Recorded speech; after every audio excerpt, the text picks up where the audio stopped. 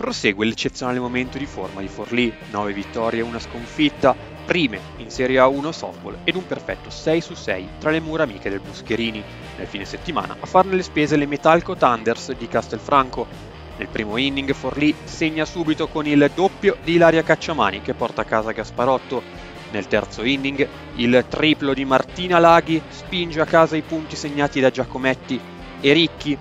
Il singolo successivo di Veronica Onofri vale il 4 a 0 non si spegne il forcing offensivo nella ripresa, sulla battuta di Spiotta la difesa veneta è imprecisa e arriva a casa il punto del 5 a 0. Per chiudere la partita sul 6 a 0 finale ci pensa ancora una volta Marta Gasparotto, l'atleta azzurra, tornata finalmente in salute dopo delle ultime annate complicate dal punto di vista degli infortuni. Colpisce quello che è il quarto fuoricampo della sua stagione in 10 partite tornando leader solitaria in questa particolare voce statistica.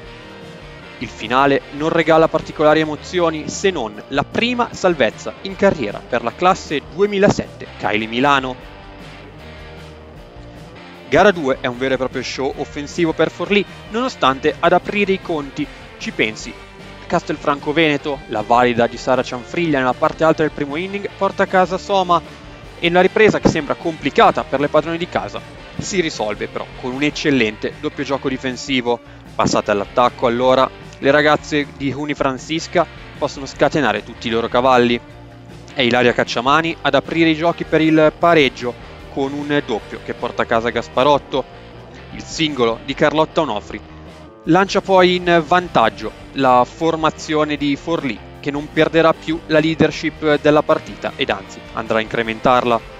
Nel secondo inning, ancora una volta, Ilaria Cacciamani, ancora con un doppio che spinge a casa Gasparotto e Giacometti. Sono quattro gli RBI nel doppio impegno per la lanciatrice di Forlì.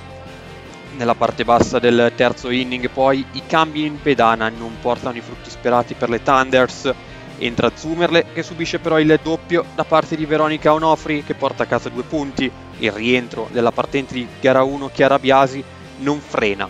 Le valide di Forlì, il doppio di Noemi Cortesi spinge a casa le sorelle Onofri e il triplo di Beatrice Maroni porta a casa altri due punti. Finisce anticipatamente la partita al quarto inning sul 12 a 2 per Forlì.